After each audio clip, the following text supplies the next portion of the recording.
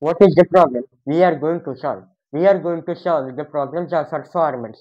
Excessive use of macronutrients cause harm to soil and humans, causing nutrient imbalance, crop reduction, and pollution. This is the problem we are going to solve. The proposed solution of this problem is agrotech.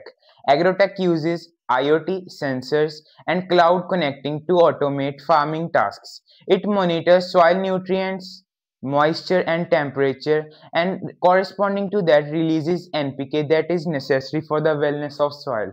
This is how my project works. Here is soil sensor and DHT11. Soil sensor checks the amount of soil moisture in the soil. Here the value is shown on my mobile phone.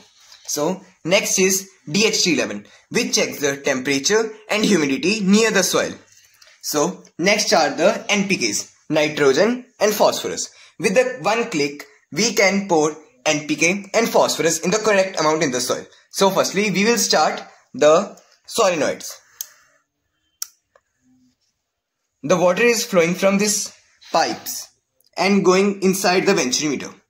And when the relay will stop the LEDs means the correct amount of NPKs has been poured. So next is this bottle which is working as a submersible. So the water goes in the uh, water tanker.